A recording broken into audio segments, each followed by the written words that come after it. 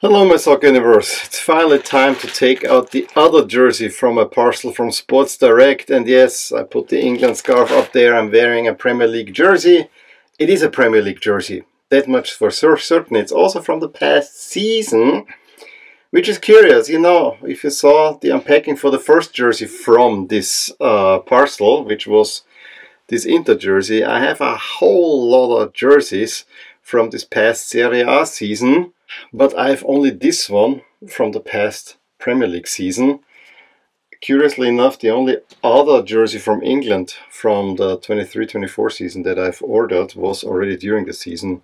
This really beautiful Leeds jersey, which was my favorite jersey from the past season. So, you know, that always was gonna happen.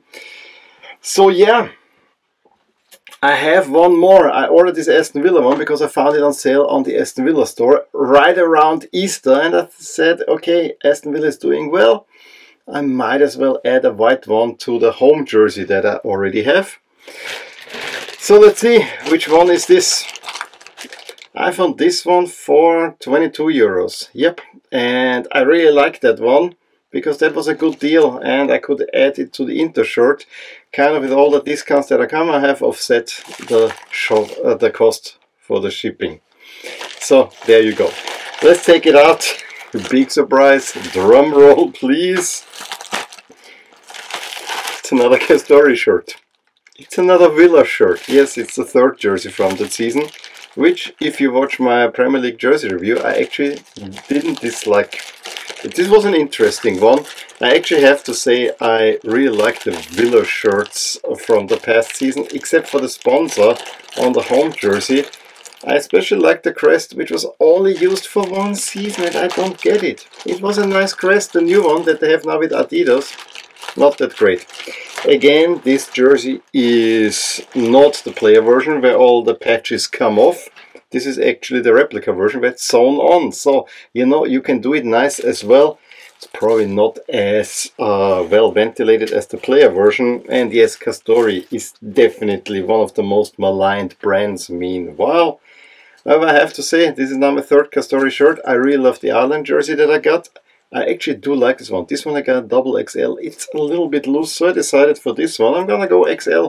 Let's see how the sizes are, because I need to gain a little bit experience, but you know, the brand might also go bust, so who knows.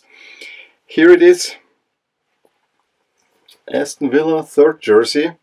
It's I have to say I like this one. I think this is even a famous one. Didn't they win at the Emirates in this one and actually spoiled Arsenal's title challenge? Maybe I shouldn't have bought it because of that. yeah, but they were wearing city colors. Now, all joking aside, I have to say that this one does something interesting. The sponsor I know is a betting sponsor, but I think it's not so intrusive. I actually like how simple it is. I really like the detail on the logo. Just look at it. There's a whole lot of detail in there. It's almost like the Dutch jersey that I have in a much smaller fashion. But this is well done, I gotta say. The pattern, yeah, we can talk about it. It's a little bit wild, but you know, it is the other club color and they did something crazy with it. If you have any info on this thorny pattern, it looks like, you know, we wanna rescue Sleeping Beauty at night, kinda, in a way, through the thorn bushes. But I don't mind it.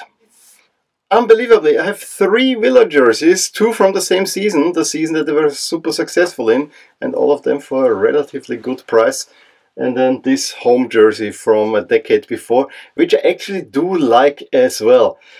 Of course, given the commercial, and it's such a great commercial for the new Villa jersey, I would like to have that one. I mean, there's Ozzy Osbourne in there. I gotta get that one. he grew up more or less inside of Villa Park, so there's a natural one. I absolutely love this commercial, and I think the jersey is also quite nice.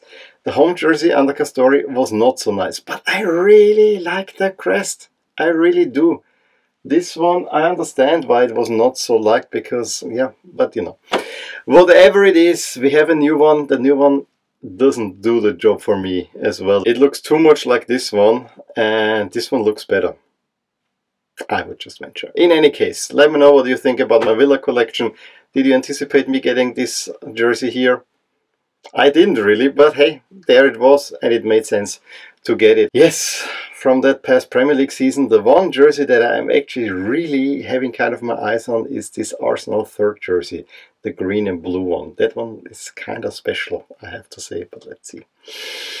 Maybe I'll find it. And yes, I really hope that the Villa home jersey will drop in price towards the end of the season, then I might get it. Because I think it's quite nice and it also adds something to my collection. Any case, give me a thumbs up if you enjoyed this video. Talk to you soon about more things in my soccer universe. Bye! Hey there!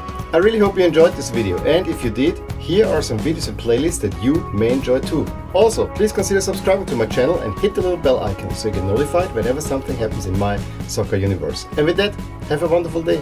Bye!